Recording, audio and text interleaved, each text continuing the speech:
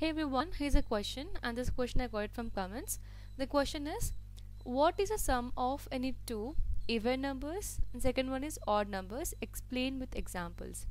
So what is sum of if I take any two even numbers what is the sum of two even numbers? So we're going to take a three different examples to understand this. So this is the first question.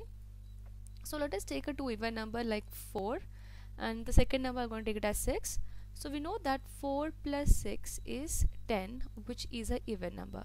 Yes. Um, now let's take another example here. I'm going to take a two digit number here. Let us take 12 and next I'm going to take another number to be 50. 12 and 50 both are even numbers. Now let's add them. So 12 plus 50 is equal to 62 and 62 is also even number. Yes. Now let's take another example. I'm going to take a three digit number here let's take 104 and 522 okay the three digit number. Now let's add them and see what answer we'll get. So 104 plus 522 when you add it we'll get here 626 so 626 is also even number. So you can see here that whatever number you take it could be two digit or three digit or one digit or four digit number when you add a two even number answer is always an even number right? So the first answer will be so when we add two even numbers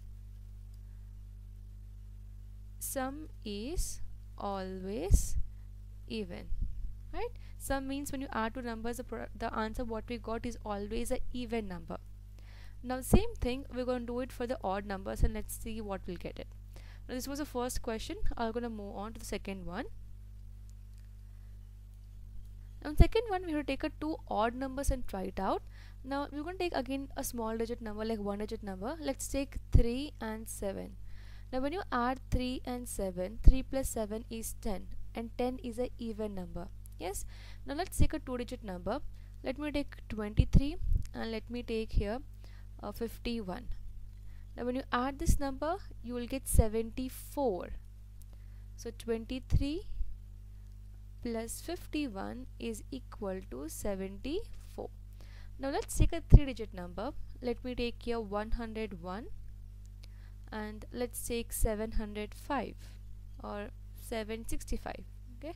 765 now let's add them. So 101 plus 765 when you add them you will get 866 now you can see that all in three different examples we always got even number.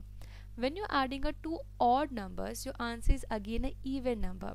So this is a conclusion. When you're adding a two odd numbers you can take any odd number. It could be two digit one digit or three digit. It's not necessary. You should always take a two two digit numbers. You can even take one digit number and next number to be a two digit number you are going to get the same same answer even number. So let me show an example here. Suppose I'll add 5 and I'll take another odd number to be 21 so 5 plus 21 is 26 yeah 26 is even number. So like that if you take any two odd numbers when you add it the answer is always even number. So let's conclude this. So when we add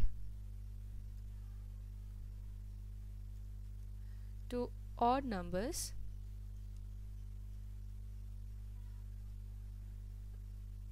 result is always even number. So that's it. I hope this, this question is clear. In case you have further questions or doubts you can drop a comment. Thank you so much for watching